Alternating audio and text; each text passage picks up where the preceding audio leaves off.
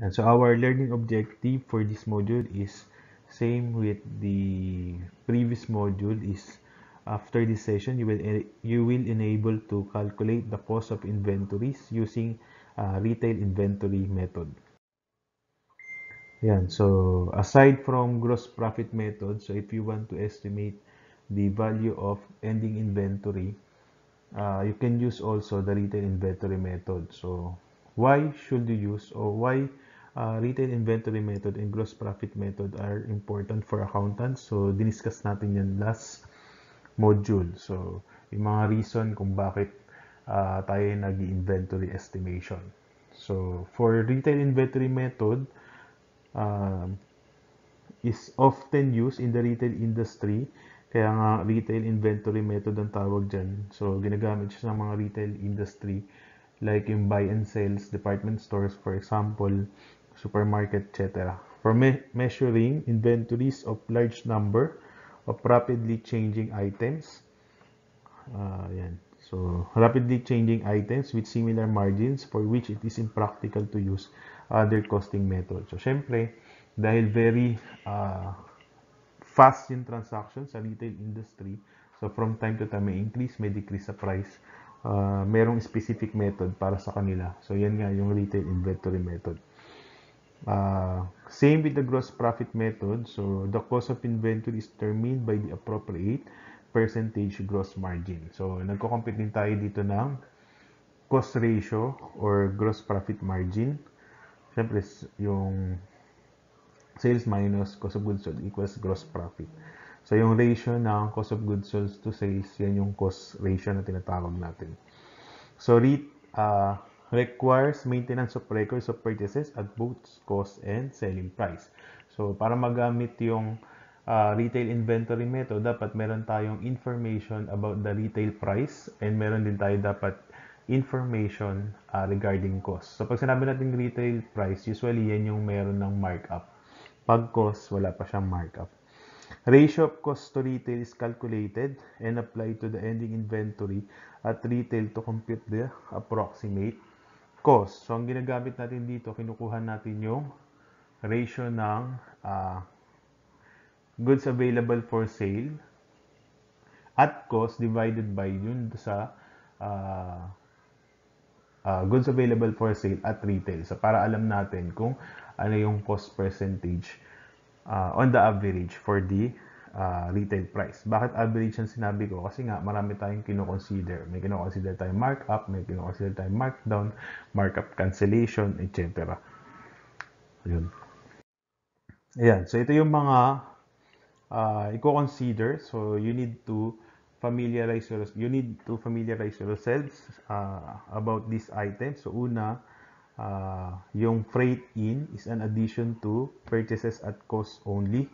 So, usually ito, para hindi siya ma madaling makalimutan, basta kapag merong movement ng inventory, ibig sabihin may pumasok na inventory, may lumabas na inventory, yung item na yon so both at cost at retail dapat siya. So, either dinadagdag mo sa cost, dinadagdag mo rin sa retail, binabawas mo sa cost, binabawas mo din sa retail. For example, yung freight in. Siyempre, yung freight in, ano yan eh, bayad yan for delivery cost. So, kapag na-incur mo yung freight in, wala mo pumapasok o lumalabas na inventory. So, therefore, addition lang yan sa purchases at cost lang. So, minsan, sa problem, di naman masyado mahirap kasi kung at cost lang siya, cost information lang given. Pero kung kailangan siyang idagdag or ibawas both sa cost o sa retail, uh, most probably, given naman yung data for cost, given din yung data for retail. Pero ang technique lang dyan, kapag yung nature ng item is merong increase o merong ay merong movement ng inventory, either pumasok yung inventory o lumabas yung inventory, uh, both cost and retail affected siya. Purchase discounts and purchase allowances sa gross profit method, kino-consider siya. So, therefore, sa retail inventory, kino-consider din siya. Pero, since pag merong purchase discount, merong purchase allowances, wala namang uh, pumasok or lumabas na inventory dyan. So, therefore, deduction lang siya sa uh, cost, cost lang. So, column lang ng cost or sa pag-compute lang ng goods available for sale at cost lang siya kino-consider. Purchase return, syempre pag may binilik tayong purchases, So may palabas na inventory, kaya tinan mo, deducted yan from cost and retail amounts kasi may movement ng inventory. Sales returns uh, deducted from uh, retail sales only kasi hindi naman siya kasama sa pag-compute ng goods available for sale. Sales discount and sales allowances, uh, hindi rin yan kasali sa pag-compute ng goods available for sale. Uh, but take note, so for, for purpose of computation ng uh, cost ratio, hindi natin siya kinoconsider. Diniscuss din natin yan no last module sa gross profit method. So yung sales discount at sales allowances for computation of cost ratio or gross profit percentage, ini-ignore natin siya. Although merong exemption to the general rule, so na-discuss ko din sa previous module, kapag material or kapag based sa history, kino-consider talaga yung discount tsaka allowances sa pag-compute ng gross profit rate, isasama. Pero pag wala sinabi sa problem, hindi natin yan i-consider. Yan. Departmental transfer in, so debit yun. Take note, pag may departmental transfer in, movement from one department to another department. So may movement ng inventory yan. So therefore, addition yan sa both cost and retail. Kasi may pumasok na inventory. Yan. De departmental transferred out o transfer out. O syempre may lumabas na inventory. So therefore, affected both cost and retail amount of purchases. So kasama siya sa pag-compute ng goods available for sale. Normal losses, shortage, shrinkage are deducted from goods available for sale at retail only. So hindi kasama si cost. But take note, this is after computing the cost ratio. So hindi siya, naka, hindi siya kino-consider sa pag-compute dapat ng cost ratio. So, pag na-compute mo na yung cost ratio, that's the time lang, i-deduct mo na si losses, uh, shortage, and shrinkage. Uh, kaya, sa computation, ang ginagawa dyan kasi, ina-add na lang yan dun sa sales. Kasi 'di ba, yung goods available for sale mo at retail, ibabawas natin yung sales natin. Kasi yung sales is cost of goods sold at retail 'yon. So, instead na ibawas natin diretso si normal losses dun sa goods available for sale at retail, idadagdag na lang natin siya dun sa net sales which is yung cost of goods sold at retail. So in effect, binawas din siya. So sa slide kasi, according to the slide, yung normal losses should be deducted from goods available for sale. So para mabawas siya automatic, i-add na lang natin yan sa net sales. Abnormal losses, are deducted from both cost and retail amounts of purchases before computing the cost ratio. So, uh, if you remember yung cost accounting nyo, yung abnormal losses, hindi siya product cost. So, therefore, tinatanggal natin yan dun sa pag-compute ng goods available for sale. Or kino-consider din natin yan sa pag-compute ng uh, cost ratio. Kasi nga, pag abnormal, period cost dapat, wala dapat yan sa product cost. So, deduct natin siya. Now, take note, so dinededuct natin yan before computing the cost ratio. So, hindi kagaya dun sa normal, after. Kaya dapat, pag yung normal losses, uh, kung may binigay sa problem na cost amount, tsaka retail amount, ignore natin yung cost amount. Retail amount lang dapat siya. Kasi, yung normal losses, binabawas natin yan sa goods available for sale at retail. Pero after computing the cost ratio. Discounts to employees and favored customers are deducted from the goods available for sale at retail. So, after computing the cost ratio. So, ang treatment for the discount for the discount tsaka normal losses are the same. So, bawas sila dun sa goods available for sale at retail pero hindi na sila kino-consider sa pag-compute ng cost ratio. So, in effect, a-add na lang natin to sa net sales. So, add na lang natin sa net sales. Ayan. So, uh, aside from yung mga transferred in, freight out, uh, employee discounts, etc. So, aside from that one, so, kino-consider natin yung uh, mga markup, markdown, etc. Kasi kapag retail, di ba, uh, from time to time, ba, every payday, merong uh, sales. Ay, sales tuloy. Uh, merong sales sa SM, for example, o sales sa department store. O minsan, from time to time, may promo for example, no? kahit wala. So, ito yung mga nature. Nature ng mga promo na uh, ino-offer in different stores. So, the original selling price, ibig sabihin yung cost of goods sold, pag minultiply mo ng, o yung cost per unit, pag minultiply mo ng target profit, yun yung original retail price. So, sabi niya dyan, yung original selling prices daw of goods may be modified as a result of some uh, market economic forces. So, di ba, may mga promotional campaign niya, o kaya demand and supply. Thus, the following terms are very important for you. Although, di naman siya masyadong mahirap pagdating sa computation. So, una, yung first markup natin, so, kino-consider para makupit natin yung original selling price. So, yun nga yung sa cost accounting.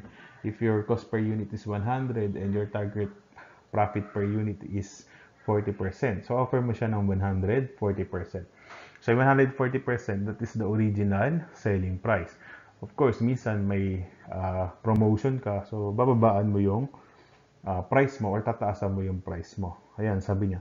So, yung markup or additional markup is an increase in the selling price. So, ang original selling price mo, for example, ang cost kasi per unit is 100 eh. Eh gusto mo ng 40% na uh, profit. So, i-multiply mo to ng 1.4. So, therefore, yung 140, ito yung original selling price. Ngayon, sabi niya, markup or additional markup, an increase in the selling price. So, ibig sabihin, increase dun sa 40%. So, halimbawa, dagdag tayo ng 10, magiging 150 na siya. So, yung 10, yan yung additional markup.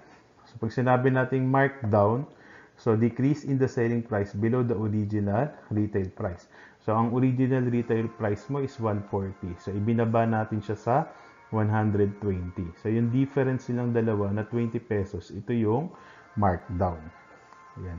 So, we have markup cancellation, decrease in selling price but not below the original retail price. So, sabi ko kanina, ang original markup natin is 40%.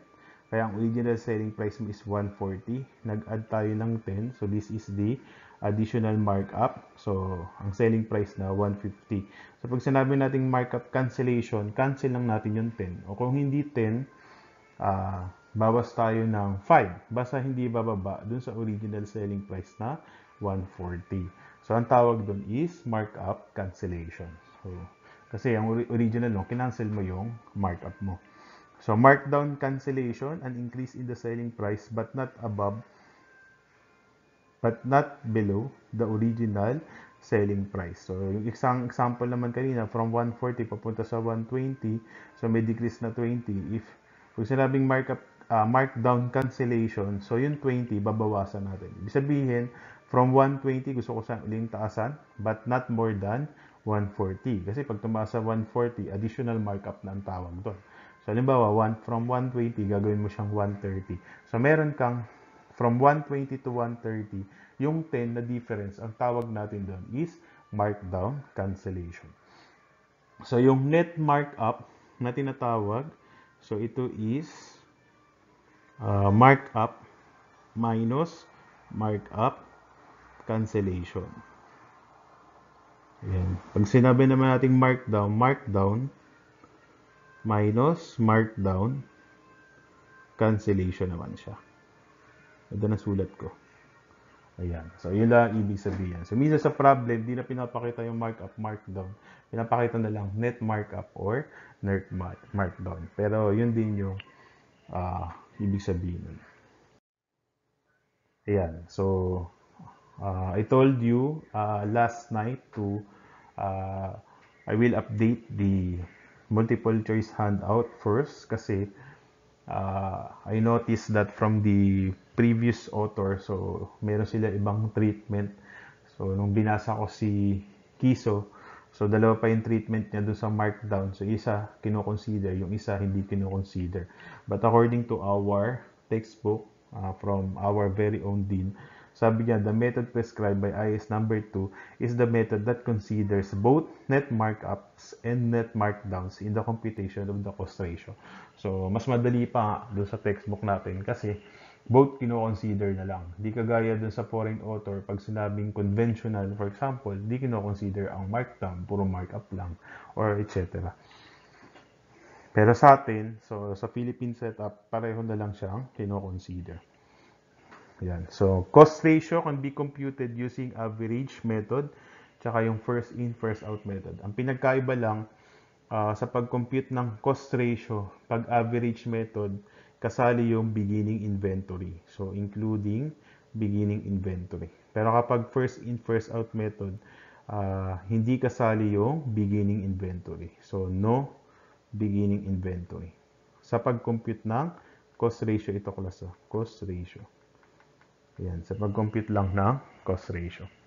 Tignan niyo example. So, uh, I have one example. So, sabi niya, the following information was taken from the accounting records of ABC Corporation for the month of December. So, we have sales, 198,000. Sales discount, 2,000. Uh, sales returns, uh, 2,000. Additional markup, 20,000. Uh, markup cancellations, uh, 3,000. Markdowns, 18,600 markdown cancellations 5,600 so we have freight in for 8 abnormal losses at cost 2,000 so uh, normal losses 3,000 purchases at cost 96 purchases at retail 176 so if you notice so basta affected both cost at retail may given silang uh, amount. Na usually magkaiba yung, mas malaki yung uh, amount for retail price. Siyempre, kasi pag sinabi natin retail price, may additional markup yun. Yun. Purchase return at cost, purchase returns at retail, beginning inventory at cost, beginning inventory at retail, departmental transferred in at cost, kasi may movement yan eh. May pumasok na inventory. Departmental in at retail, 6,000. So, abnormal losses at retail. So, 4,000. So, take note, magka-partner silang dalawa. And lastly, employee discounts o 2,000. Yan. So, sabi niya, instructions use using retail inventory method. So, compute. So, yung specific instructions nandun sa different slides. Uh, for, ayan. So, compute the goods available for sale at cost at, and at retail uh, ginawa ko is naka-excel na yan kasi medyo madaming item. Hindi kasya pag sinulat ko. So, yung usual lang na computation. So, we have column for cost. We have column for retail. So, if you want to check, so please refer to the uh, given uh, data for this particular problem do sa previous slide. Baka kasi mamaya may na-overlook ako. So, beginning inventory at cost, 60,000. Uh, beginning inventory at retail, that's 93. So, purchases, uh, 96 at cost, sa 176 at retail. So, add yan. Purchase returns, binabawas. So, minus 4,000 at cost, uh, minus 6,000 at retail. Uh, both affected. Freight in, sa cost lang siya. Uh, positive kasi i-add ang freight in. Kung may purchase discount, kasali din siya sa i-consider kasi purchases naman yan. Sales discount tsaka sales allowance yung hindi kino-consider. Additional markup, if you notice, uh, wala namang additional markup at cost kasi nga markup eh. So, ibig sabihin, at retail lang dapat. So, doon lang siya sa retail. So, plus 20,000. Markup cancellation. So, kasi kinancel yung markup. So, minus sa retail. So, 20,000 minus 3,000, yan yung net markup na tinatawag. Markdown, syempre, decrease dun sa uh, original, uh, ano, ano ba ibig sabihin ito? Original selling price. So, minus 18,600 kasi markdown nga. Markdown cancellation, syempre, kinancel mo yung binawas mo before doon sa original selling price. Kaya add natin yung 5,600. Departmental transferred in. So, merong pumasok sa atin na inventory. May movement of inventory. So, therefore, both cost and retails are affected. Given naman doon sa problem. So, plus 4,000 sa cost. Plus 6,000 sa retail. Ngayon, kung ang binigay is departmental transferred out, syempre, minus yun. Kasi palabas yung inventory. Abnormal losses, so hindi kasama sa pag-compute ng cost ratio kasi nga period cost, sabi sa cost accounting. So therefore, minus, sa 2,000, minus 2,000 sa cost, minus 4,000 sa retail. So if we add, So, add lang natin, minus natin yung negative. Makukuha natin na goods available for sale is 269,000 for retail and 158,800 for cost. Ayan. So, next, uh, ito na yung hinahanap doon sa problem. So, goods available for sale at cost and at retail. Next requirement. So, sabi niya, compute the cost ratio using average method and using FIFO method. So, ang pinagkaiba lang nila sa pag-compute ng cost ratio, so, ang cost ratio natin is yung cost amount lang. So, cost na goods available for sale, tsaka yung cost at retail. So, kasi pag sinabing retail, may markup yon. Kaya lang, pag sinabing average, kasama yung beginning inventory. Pag sinabing FIFO, di lang natin isasama yung beginning inventory. So, therefore, kapag letter A kasi, ang hinahanap is cost ratio using average method. So, kasama yung beginning inventory. So, that will be 158 800. So, please go back to the uh, data para at least aware kayo na tama yung uh, kino-consider kong amount. So, 158,800, yan yung total goods available for sale at cost. I-divide natin dun sa total goods available for sale at retail, which is yung 269,000. So, 269,000. So, therefore, 158,800 divided by 269, lalabas, this is 59.03%. Yan. Next natin, hinihingi is FIFO naman. So, cost ratio using FIFO method. Uh, take note, so, dapat mas mababa yung numerator kasi uh, hindi ko consider yung beginning inventory. Actually, numerator tsaka denominator, mas pababa. So, ang beginning inventory at cost is 60,000. So, 158,800 minus 60,000 tayo. So, that is 98. Ayos sumulat. 98,800. So, syempre, yung uh, tigas uh, at retail, 269,000 minus natin yung beginning inventory, which is 93,000. So, that will give us 173. So, 173,000. So, 173,000, 98,800 divided by, ay sorry, it's not 173, it's 176. This is 176,000. So, 98,800 divided by 176,000. So, lalabas, this is 56 point 56.14%. Ayan. 14%. Ayan. So, kailangan natin yung cost ratio. Ibig sabihin yung ratio ng uh, goods available for sale at cost versus dun sa goods available for sale at retail para makompute natin yung ending inventory at cost. No? Ayan. So, next requirement. So, sabi niya, compute the ending inventory at retail. So, remember, uh, meron tayong uh, goods available for sale at retail. So, para ma-solve yan, kailangan natin yung total goods available for sale at retail. Siyempre, kasama dyan yung beginning inventory kasi total goods available for sale. So, that is 269,000. So, ang kailangan ko na lang dito is, uh, take note, dapat adjusted pa yan for normal losses and uh, employee discounts. So, dapat babawasin ko pa yun talaga. Kaya lang, usually, ang ginagawa lang dyan sa, kasi tinatanong lang naman, ending inventory, i-add na lang natin yung normal losses, tsaka yung employee discount dun sa net sales. Since yung net sales, uh, yan yung cost of goods sold at retail. Kasi yung total goods available for sale natin at retail. Di ba dun sa gross profit ratio, para makompute natin yung ending inventory, if you remember, yung goods available for sale, ibabawas ko yung cost of goods sold, makakompute ko yung ending inventory. So this time, ganun din naman. Yung goods available for sale, ibabawas ko din yung ending inventory. Ay, yung cost of goods sold, sorry. Makakompute mo rin yung ending inventory. Yun nga lang, yung cost of goods sold natin dito is not given or not provided to us. So therefore, uh, yung net sales ang gagamitin natin. Kasi yung sales is cost of goods sold with markup. Ayan. So, yun.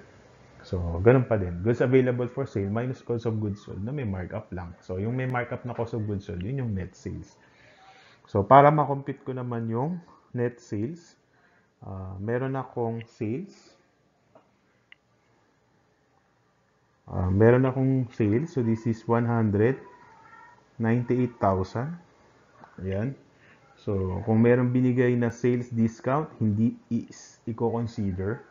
Uh, kahit may bigay, walang binigay sa problem, okay lang. Uh, or kung may binigay sa problem, hindi pa rin natin siya ikasasama sa computation.